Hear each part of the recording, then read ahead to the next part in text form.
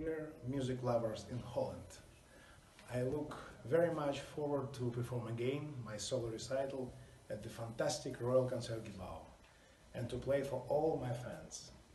This time I would like to play two great sonatas by Beethoven and Grand Sonata by Tchaikovsky. And I hope to see you all very soon. Bye bye.